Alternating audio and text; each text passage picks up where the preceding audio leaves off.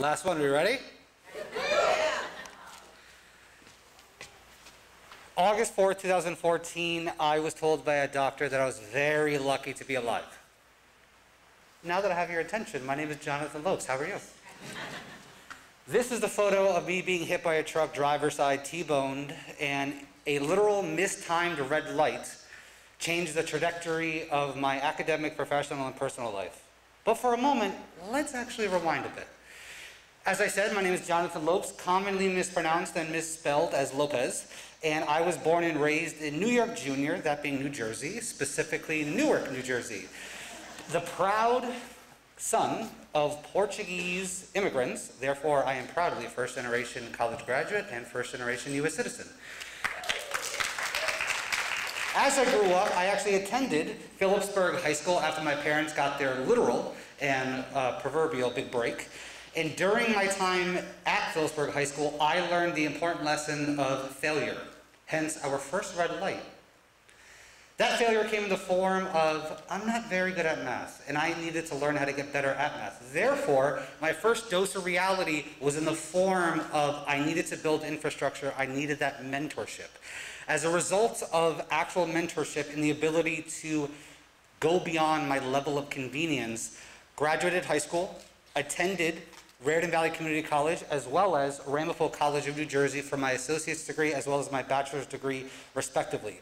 I was obsessed with becoming a success and honoring my parents' name. I became an orientation leader, resident assistant, peer educator, six classes, internships, etc., etc. However, that does come at a price. But before we get to that, let's highlight some of the actual positives. During that time there, I'm starting to develop my craft, that being being in the human experience. I'm in the business of people.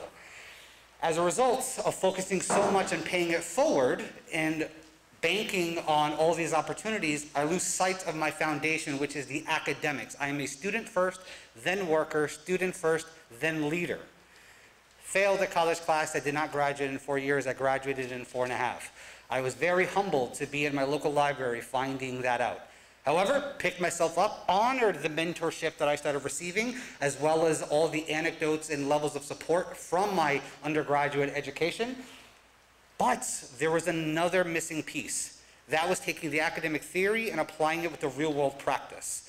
And these two books were the first books that I ever read, Bossypants by Tina Fey, my future wife, and Randy Pausch's Last Lecture, who is the late, great Carnegie Mellon professor. And they focused on the idea of advocacy as well as being in the intimate moments of human connection. As a result of reading, as well as immersing myself in opportunities, I was able to have more and more opportunities. I got placed on the wall of the new student center in my community college. I led my graduation for my bachelor's degree, but uh, the red light still comes up. What is the next phase of my life? Is it going to be straight up workplace or advancing my curriculum and going for a graduate school? And do I still believe in myself? Or am I making up for lost time by being first generation? I ended up attending Rider University for my master's degree in education in Trenton, New Jersey. I was able to obtain a graduate internship that allowed me to fund my program, and that's where I became on the front lines working with students on a literal day-to-day -day basis, seeing everyone that, as I like to say, potential that needs to be polished. However, Red lights do come. Detours have to be made. You do not get to live a life of green lights. During my graduate school process, I ended up breaking up with my first serious girlfriend. We also shared a dog. I was struggling with the workload that graduate school presents to myself, and this is also where that car accident took place. And one of the first books that I read cover to cover, especially as I was transitioning to a graduate student, was Stephen Covey's international bestseller, The Seven Habits of Highly Effective People, in which you're focusing on the ability to not only be an advocate, but work on yourself and build that foundation based on values and what are you actually trying to focus on.